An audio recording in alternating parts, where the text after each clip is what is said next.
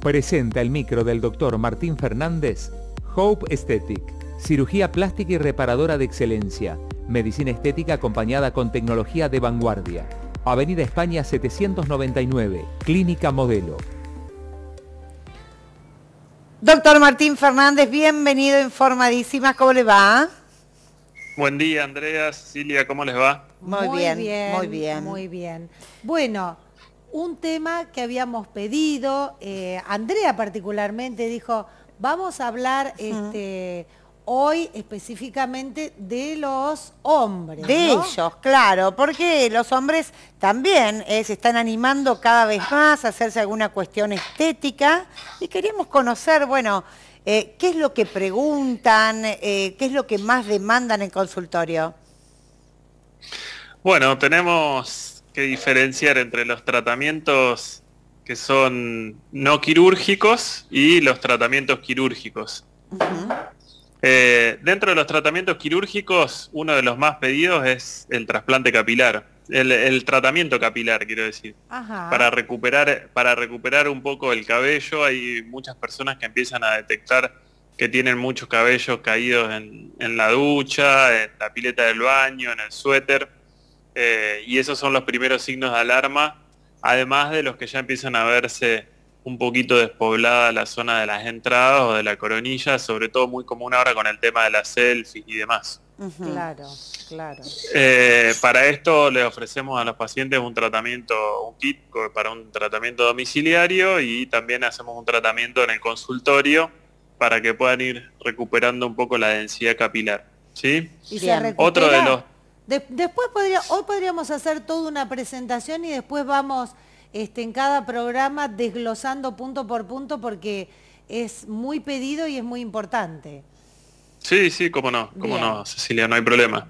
Otro de los tratamientos que se pide también es el plasma rico plaquetas. Sí, esto ya sabemos que es medicina regenerativa y nos ayuda mucho a, reparar el daño acumulado que hay en las células, y no solo del sol, sino también del tabaquismo y de toda esta epidemia que tenemos con el tema de las pantallas.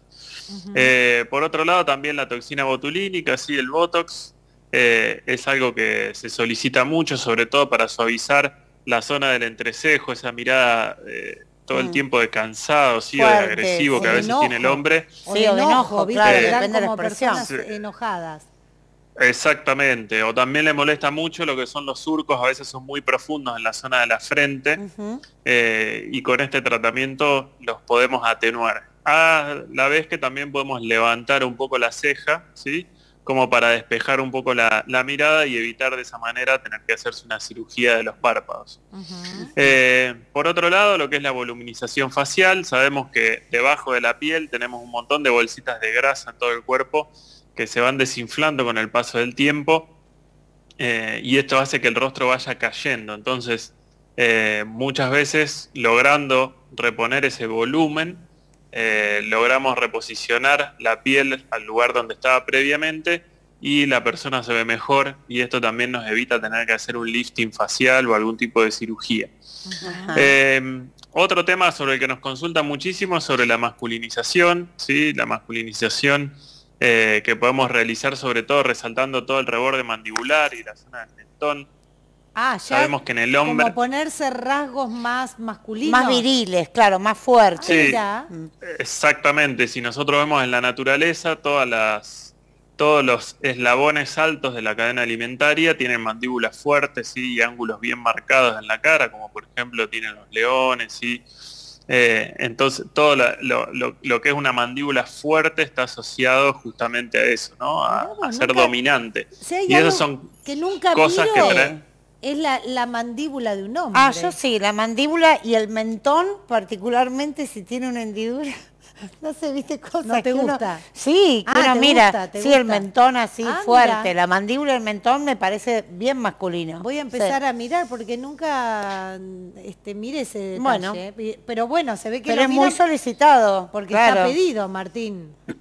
Sí, está muy pedido y además como son cosas que por ahí están implícitas en el, en el código genético, este, son son temas que por ahí uno no, lo hace consciente, pero cuando uno mm. ve la diferencia entre uno y otro, generalmente gustan más por eso. Sabemos que en la mujer el triángulo de la belleza es un triángulo de base superior y de vértice inferior, ¿sí? del vértice hacia el mentón, y en el caso del hombre es un pentágono, ¿sí? el pentágono de la belleza. ¿sí? Eh, si nosotros ponemos todos rostros que son este, muy lindos de, lo que son la televisión, ¿sí? de las estrellas de Hollywood y demás, vamos a ver que cumplen con estos parámetros del pentágono prácticamente a la perfección. Ah. entonces son, son esas cosas que por eso es algo natural, que uno ve a una persona y dice, le, atrae por la belleza y eso está estudiado, esos cánones. Sí, eso está, eso está estudiado y a la vez si al mismo hombre uno le hace, si le quisiera hacer una animación, aunque sea con Photoshop, eh, va a ver que tiene rasgos mucho más atractivos cuando se mejora toda esta parte y que trasciende lo subjetivo, por eso digo que es algo que viene más relacionado con lo que es la genética, ¿sí? Claro. Martín, bueno, hablamos, digamos, todo en, eh, lo que es este la cabeza, ¿no? El rostro, el cabello. ¿Qué pasa con el cuerpo en los hombres? ¿También eh, averiguan por sacarse la grasita, marcarnos el abdominal?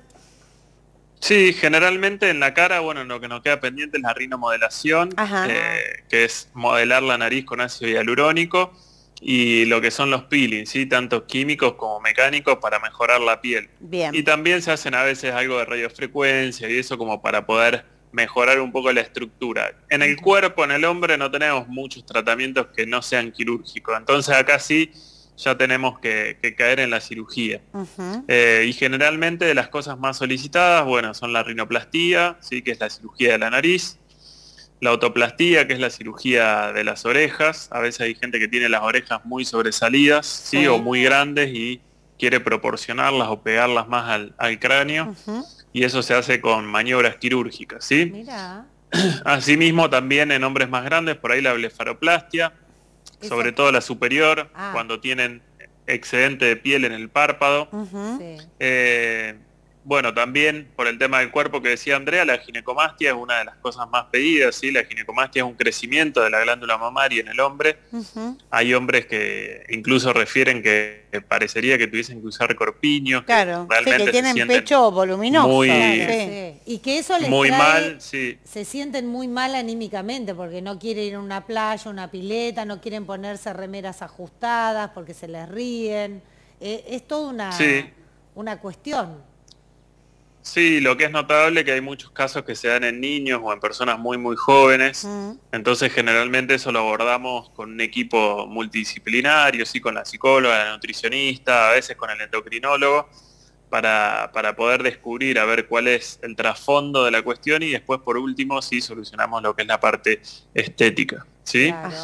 Eh, después otro de los temas por los que preguntan mucho, bueno, es la liposcultura HD, con este tema de, que a partir de la lipoescultura no solo se pueden sacar los rollitos, sino también marcar los abdominales y marcar toda la musculatura. Ah, ¿se eh, puede? Sí, sí, sí, se puede marcar todo, todo el six pack, como le, decimos nosotros, para que se quedan todos los cuadraditos en la zona del abdomen. Ah, y es uno de los procedimientos más solicitados, sobre todo en hombres, ¿sí? Eh, por último, ¿qué nos quedaría? Bueno, el tema del abdomen, que a veces hay gente que tiene un abdomen prominente y ha bajado de peso y le queda un poco colgando la panza y eso se, realiza una dermolipectomía para poder sacar ese colgajo de piel. Y bueno, y el trasplante capilar, que para los pacientes que, que, bueno, que ya han perdido mucho pelo o que tienen una alopecia muy severa, es lo único que nos queda por hacer, hacemos el trasplante ya sea pelo por pelo o el trasplante de la tira o ahora el trasplante de pelo largo para los pacientes que no desean raparse. Sí. Ah, Te iba a preguntar, Martín, si los hombres también son por ahí más este, temerosos al hecho de decir de repente, ay, mira, yo quiero hacerme algo, pero no quiero que se me note mucho, que haya mucha diferencia, o temor a las agujas, que muchos no sabemos este, también también van por ese lado. Sí, sí, pasa mucho eso.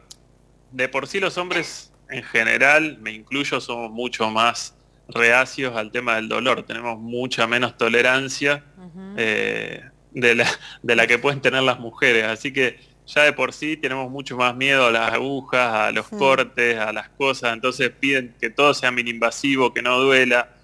Eh, y es mucho más difícil siempre tratar hombres que, que tratar mujeres por ese tema. En cuanto a lo quirúrgico, también te pasa que el hombre sangra más, ¿sí? Eh, ah, también hay muchísimo tabaquismo. Eh, y lo que quiere mucho el hombre es la discreción, ¿no? Por eso este, ah. también nos eligen y todo, porque saben que tenemos un lugar discreto, porque saben que el quirófano es discreto, que no hay mucha gente circulando. Eh, porque es como decís vos, Andrea, quiere que no se sepa. Claro, Eso, eso es un tema. A ver, ¿cómo llegan a la consulta? ¿Se animan a ir a consultorio? ¿Te piden, este, te piden un horario especial? Eh, bueno, esto que vos decís de la discreción, a la hora de hacerse algo, bueno, la suerte tiene ese quirófano que está como este, muy, muy por, a ver, que no, que no anda mucha gente por ese lugar porque no hay muchos consultorios en esa zona. Eh, ¿cómo, es el hombre a la hora de ir? Atendeme el, el primero, el último. Hay mucho. Sí, hay muchas personas que piden así, el primero o el último turno, generalmente este, solicitan el último, eh, a veces se quedan esperando afuera hasta ver si ya, si ya está desocupado el médico o no. Mm. Como nuestro consultorio tiene doble circulación, a veces prefieren entrar por la puerta de atrás que por la del frente. Eh, bueno, tienen, hay muchísimos pedidos para cada paciente, no solo pasa con los hombres, pero sí es cierto que pasa mucho más frecuentemente con los hombres. Y, también lo que hacen es particularmente consultar mucho por las redes sociales, eh, o por teléfono, o por mail, eh, como que prefieren evacuar varias dudas por ahí antes de, ir a hacer la consulta, como para que la consulta sea más rápida y más Y pensaba, Martín, ¿cuántos también van que los llevan la, la esposa, la pareja? Porque, ¿no? Dice, mira, eh, me gustaría que le sacaran esta arruguita de acá y él ya va entregado. Claro. No, pues si vos querés que yo me saque la arruguita, voy, mi amor, me saco la arruguita. Pero muchos Ese es un tema polémico, ese es un tema polémico porque muchas veces sí sucede así, pero como decimos siempre es importante eh, averiguar la verdadera motivación del paciente, porque si el paciente viene por el deseo de otro, eh, es algo que no va a llevar a buen puerto, que no la va a pasar bien, que no va a tener un buen resultado, que no va a estar conforme. Así que si bien muchas veces pasa eso, bueno, a veces con la complicidad entre el paciente y el médico, eh, posponemos el tratamiento, o no lo hacemos, o hacemos alguna otra cosa para tratar Además en esto vos sos muy franco, este, alguien quiere hacerse algo y vos le decís, bueno, te va a pasar esto, bueno, esto puede llegar a pasar, o sea, como que están planteadas todas las situaciones y el hombre ahí también decide si quiere o no, este, sabiendo todo, que es este, un poco lo que, lo que le gusta a la mayoría de las personas, bueno, saber los pros, los contras, lo que puede pasar, estar informado, que eso en eso vos siempre estás dando todo, todo, no, no guardas nada. Sí, lo que pasa que bueno, cuando van con la pareja o algo, eh, son cosas que hay que hablar en privado porque hay que tener sutileza para poder este, para poder charlar esas cosas o a veces seguir la charla este, por mail o, por mensaje de las cosas que no se pueden hablar en el consultorio, porque sí, si van con las motivaciones de otro, por ahí después el paciente uno habla por mail y dice, ah, doctor, la verdad que yo no quería hacerme esto. Eh, entonces, bueno, inventamos alguna excusa para posponerlo o para no hacerlo. Claro. Mira, me estoy quedando pelado y soy feliz. El, problema lo tiene ella. Exactamente. Muchas veces pasa eso y no solo pasa con los hombres, sino pasa también con padres e hijos, madres e hijas, ah, ¿sí? Eh, que muchas veces uno, si, si hiciera caso a eso, terminaría operando la nariz de la madre en la hija. Claro, eh, eh, proyecta, proyecta exactamente. Ahora, volviendo al tema hombres, em, ¿qué, edad es la que más consulta? ¿Quiénes se animan más?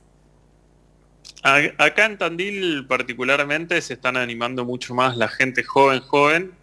y, bueno, después hay gente bastante más grande que son las que padecen este tema, por ejemplo, de los párpados caídos, ¿sí?